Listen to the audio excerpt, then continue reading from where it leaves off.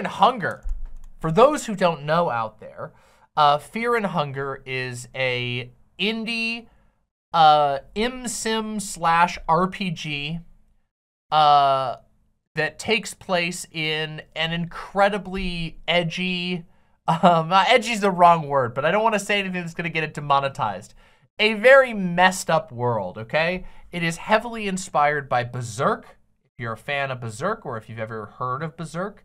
So it's a very, uh, very, very dark uh, fantasy universe, and uh, and it is also it doesn't really pull any punches with regards to um, violence and depictions of uh, basically anything anything bad that you can imagine is probably present to some degree in Fear and Hunger. Um, it's a very very messed up world, uh, but it is extremely well written. The presentation and atmosphere of the world is incredibly compelling, and it is terrifying. It's uh, a really difficult game. That's part of the draw. Uh, it's it's very punishing. And uh, I have played Fear and Hunger uh, a couple of different times. This time, I am playing with the goal of actually completing the game and getting some of the endings. And uh, and so I, I actually have just, I decided because after like literally hours of just dying and doing the same small stretch of the game over and over again, I decided that I would let myself have infinite saves, finally. Um, by default, the game is incredibly cruel with its save system, and you uh, you have to you have to play very procedurally, um, but also that requires a bit of a time commitment, uh, which I don't really have this that level of time commitment, unfortunately. Um, but uh, I I've found it quite enjoyable. I've played like I don't even know 10, 12 hours of the game with no mods whatsoever, and only now have I like actually installed some mods. Um, it's a it's a very awesome game. Um. Uh. But uh, but it's very hardcore, and it can be a little terrifying. Um. I I I I do find it very compelling though. There's something about uh the sort of an, an unhinged dark fantasy. You know, there's a lot of dark fantasy that is dark fantasy because it's like this guy's name is Murder McKill and he burnt down a whole village.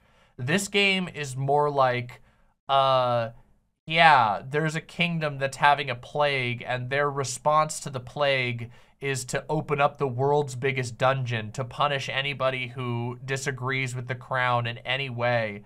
And the dungeon is so rotten and terrible and filthy um, and evil that uh, it's it's it creates a a miasma. It, it opens. It, it's there's so much concentrated evil in this dungeon that it opens rifts in the world for gods to to influ for evil dark gods to influence the world through.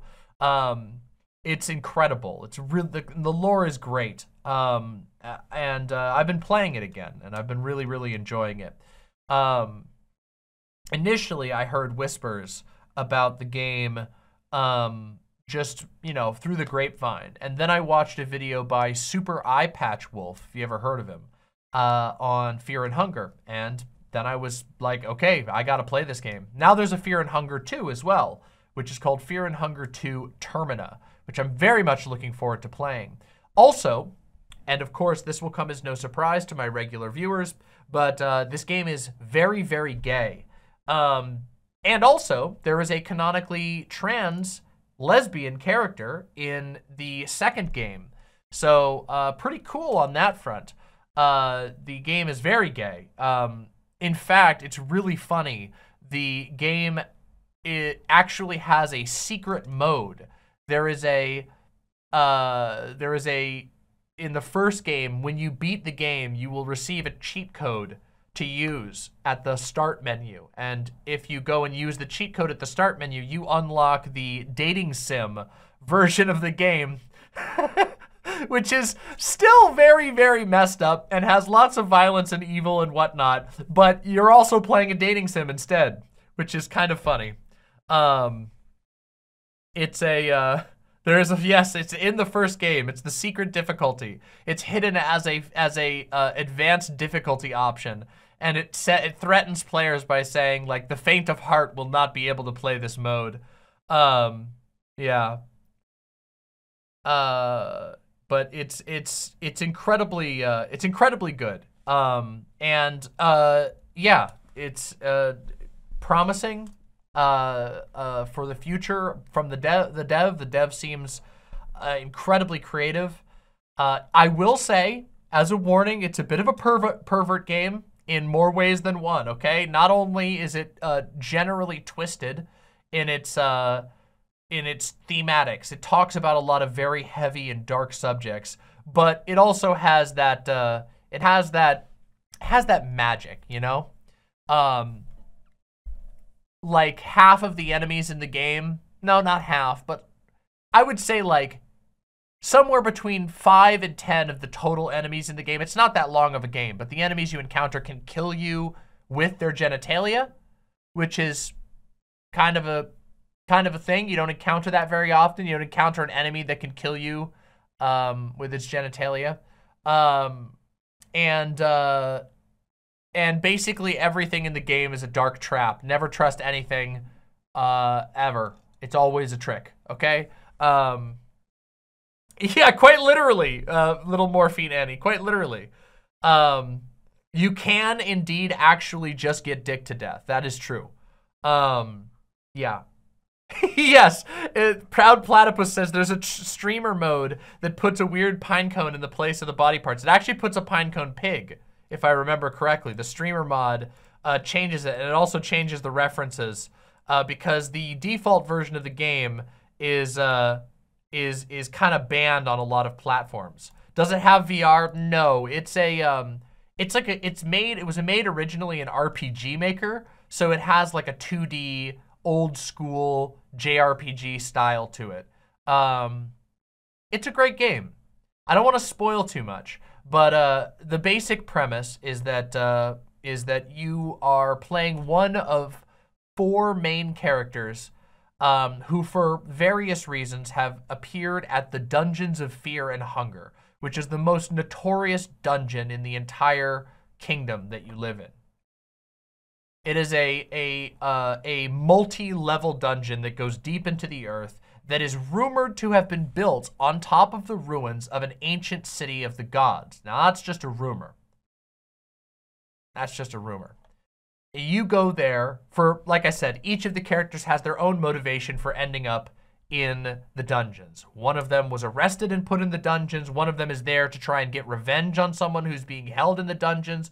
One of them is there to rescue someone who's held in the dungeons.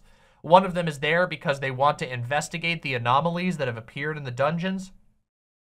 Regardless, your characters all convene on this location, and when you arrive there, things have gone terribly wrong.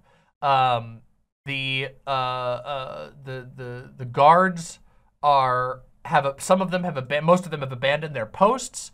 Uh, there are monsters. There are uh, un unexplainable events and you basically have to plunge yourself deep into the dungeon uh, to accomplish your goal uh, and decide whether or not it was actually worth it to come at all. Um, and like I said, along the way, you will encounter an incredible amount of uh, violence and and uh, depravity, torture. Um, it's a very messed up game. Definitely uh, deserving of its adults only uh, uh, uh, it doesn't actually have an AO rating, but it is an adults only game for sure. Um, and uh, the game plays like an RPG. So you have a character, you give them equipment, you have turn-based battles when you get into combat, but it also has immersive sim elements. At all times, you will be managing your health, your sanity, um, various diseases that you can contract, your fears, and um, and your hunger. Hunger is one of the most important features in the game. So as you crawl through the dungeons, you have to find sources of food uh, to keep yourself alive. And let's not, let's hope you don't have to resort to cannibalism. Or maybe you're like me and I play the cannibal character to begin with. Why not? Um, but yeah, uh, uh, that's the game. It's really good, and I recommend that uh, if you are into uh, the darkest of the dark type fantasy, you should check it out. Uh, I think that it is uh, a, a very creative experience. The lore is incredibly uh, inviting. It grips you and makes you want to go, wow, I want to find out more about this universe. And it's absolutely loaded with Berserk references. Sometimes, maybe even a little too many Berserk references. Seeing as how one of the characters is quite literally just a character directly from Berserk, but they changed his name. But anyway, um, anyway, it's a uh, it's a really good game, and it has a sequel that I have heard is even better. Um, the sequel takes place in the same universe, but in like a World War One type era. So time skipped forward, society has moved on, and the evils have not. Um, it's really cool. Uh, uh, I I have not played the second one yet, but I'm looking forward to it and I urge you to go check out Fear and Hunger. That's all I have to say about it right now. Go check it out. It's a really, really cool game. But prepare yourself for a hard time. Anyway, thanks for watching.